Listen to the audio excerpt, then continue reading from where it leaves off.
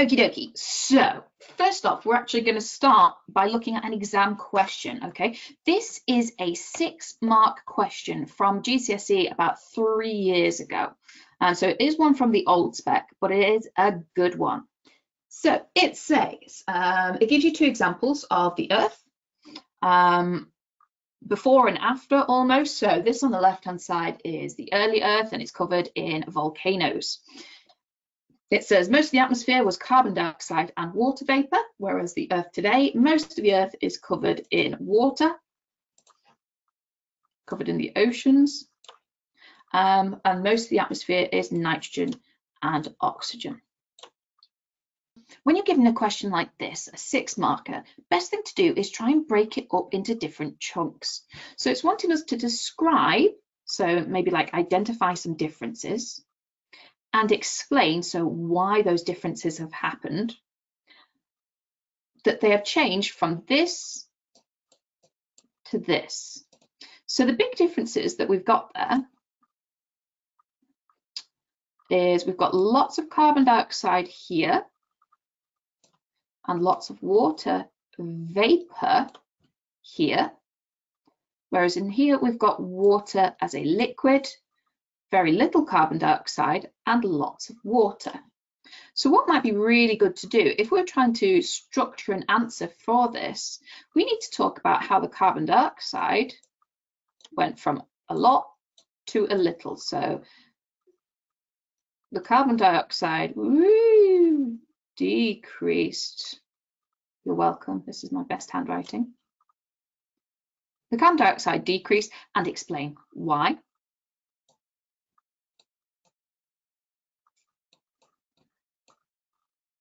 The water went from a gas, so water vapor here,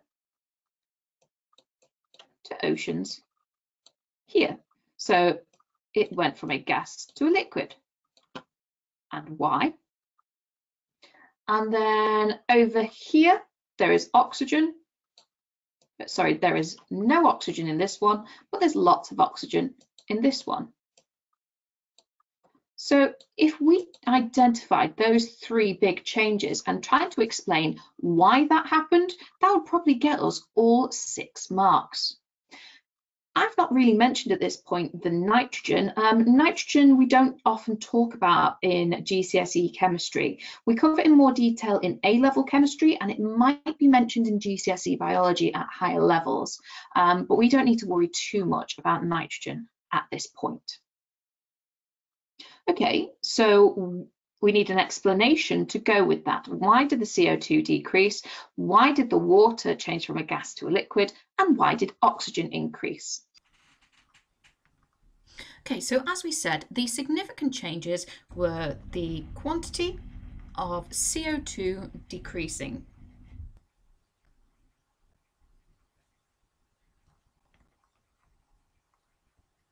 So we could go for the volume of CO2 decrease, the concentration, uh, the percentage, either of those words, uh, any of those words would be absolutely great.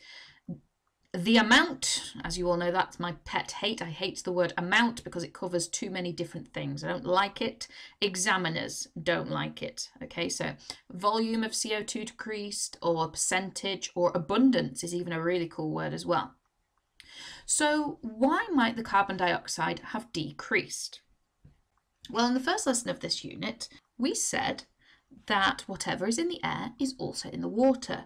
So carbon dioxide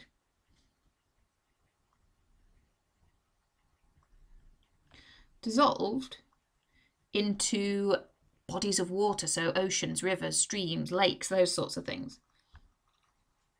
Uh, I'm just going to go for the oceans. So therefore that will have decreased the volume of carbon dioxide in the atmosphere. Other processes that use up carbon dioxide, a big famous one from biology, plants absorbed carbon dioxide. Now that's okay, but let's see if we can get it a bit more detailed. So to get high marks in these sorts of things, you've got to use scientific language, especially sort of names of processes. So if we just said plants absorb CO2, that's kind of okay. Absorbed is a good sciencey word, but we can go one better. Plants absorbed carbon dioxide during the process we all love and adore and to be honest, we'll be pretty screwed without it, uh, during photosynthesis. And if you were feeling particularly hardcore, you could maybe even show an equation for that as well. That'd be really cool. So carbon dioxide dissolved into the oceans, plants absorb the CO2, uh, and one other way that we talked about um, that carbon dioxide is removed from the atmosphere is being locked up in sort of rocks or fossils. Um, so again, let's use that key terminology of being locked up. Um, CO2 became locked up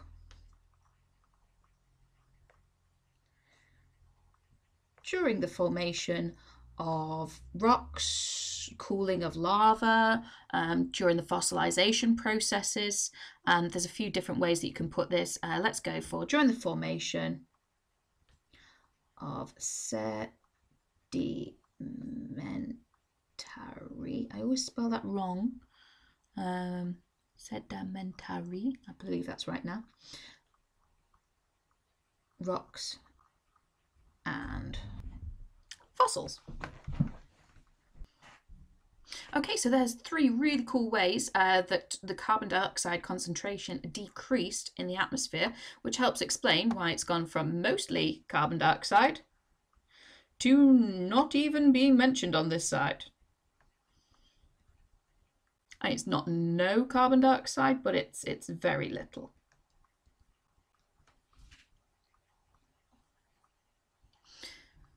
Okay, so that was one of the changes we need to talk about. The other one was water. On this first one, there was no water. Well, there was, but it was there as a, a gas. There's no liquid water. Um, and then here, there's lots of water.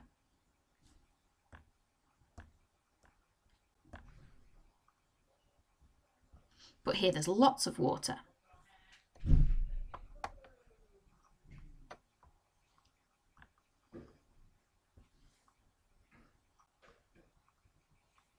Volume of water potentially stayed the same, but water vapour turned into liquid. Why did that happen? That happened, as we've discussed previously, because the Earth started to cool. Once the Earth was cooling, once the volcanic processes were sort of calming down a little bit and a lot of the heat had escaped out uh, off into space and then our atmosphere was formed, that started the cooling and eventually got cool enough where water could condense. Again, trying to get this idea of key words, condense would be a great way to put it, rather than just saying turned into water.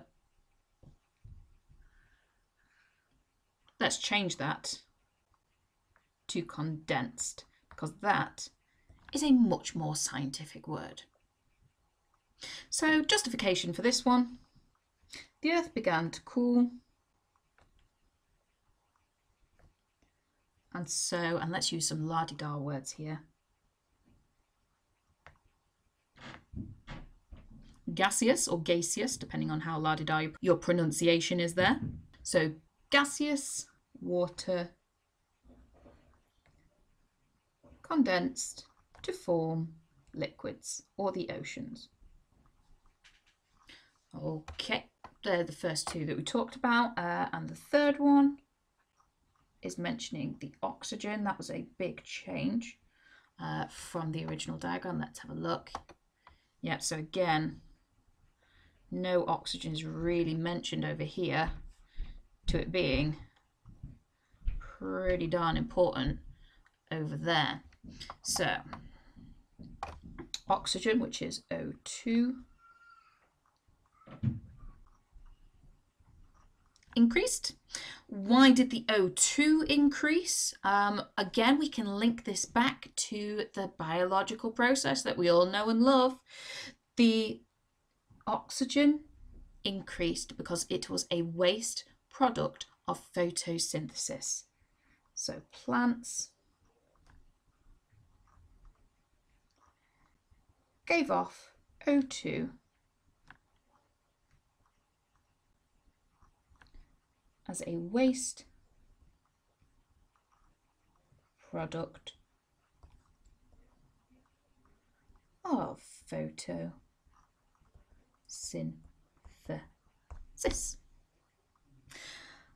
Okay, so this was a six marker.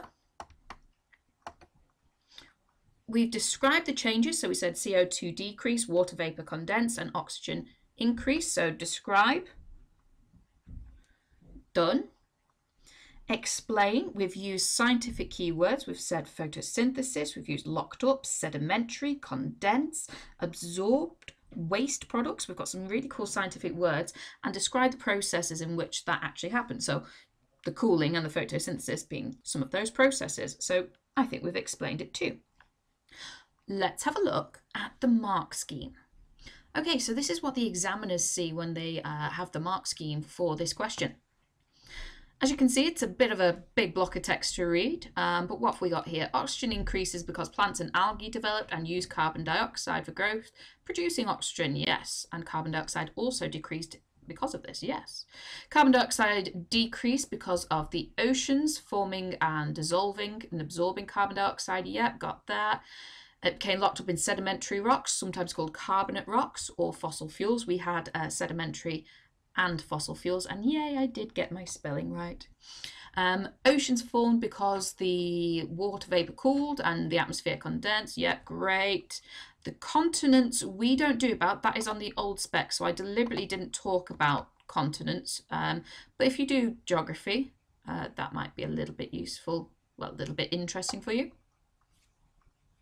And again, volcanoes is no longer on the spec, so we wouldn't need that one either. Bonus point, it talked about uh, nitrogen forming. I did say we don't have to cover this, uh, and we don't. It's only on the A-level chemistry, it's not on the GCSE chemistry. But we did mention that ammonia was present, um, and then we did talk about that nitrogen we did talk about nitrogen a lot when you lot were asking questions about it. So actually, you might have been able to get that, um, but it wasn't necessary because if we have a look what the marks are actually given for here, um, if you just make some vague statements based on the diagram, you get one or two marks. For level two, we need a description of how one change occurred. For level three, descriptions of how at least two changes occurred. So in a six mark question, you are graded on what is called like a level scheme. Now this doesn't equate to the actual grades that you're going to get. Level one is not equivalent to grade one. Okay, that just, they call it one, two, and three. They could have just easily called it A, B, and C. It doesn't actually matter. But for each one, what you need to do is, if you've met that criteria but not used particularly good scientific words, you get the lower mark. If you've met that criteria and used la-di-da sciencey words, you get the second mark. This one only wants one change. For example, if you just talked about carbon dioxide going up and down, and then maybe use the word uh, sedimentary or locked up, then you probably get the four marks to get to the top level of answer here, um, you need two changes, how they occurred, and la-di-da language for that top mark. So actually, having a look at the answer that I sketched out here, now granted I've not used particularly good uh, like sentence structure, I've done sort of bullet points, now, it doesn't specify in this question that you're going to be assessed on the quality of written communication. So, for argument's sake, I don't necessarily need um, like strong paragraphing and things like that. The way I've laid it out covers it up quite easily. However, it would really look better um, as maybe three little paragraphs, one for each factor there. So, let's match that up to the criteria and see what level my answer would get. So one or two statements, um, I've definitely got one or two statements, so that's, and I've used scientific language, so I've definitely got mark number one and mark number two. Description of one change, I have got one, two, three changes here. So I've actually got more than what you need. You'd only really have to talk about two of those criteria, two of those factors, so either carbon dioxide and water, or water and oxygen, whatever. Um, and of those that I've got, CO2 devol- dissolved into the oceans, uh, carbon dioxide dissolved into the oceans. That's a description there. Plants absorbed CO2 during photosynthesis. Uh, yep, that's stated just there. Oxygen locked up in sedimentary rocks, carbonate rocks or fossil fuels. I've got sedimentary and fossil fuels, so yeah, that's well and truly covered. And then with water, oceans form because the water cooled and vapor condensed. So I've got that idea and I've got the scientific keywords there, so that boosts it up a little bit more. And talking about oxygen, it's just here, oxygen increased because plants and algae developed and used carbon dioxide. Yep, I've got that. So this answer here would most definitely get six marks in exam situation because it has met all of those criteria. Okay? All right then, girls, boys and others, that is it for another day. Goodbye from me. Goodbye from Stormzy. Keep doing your chemistry work. Bye.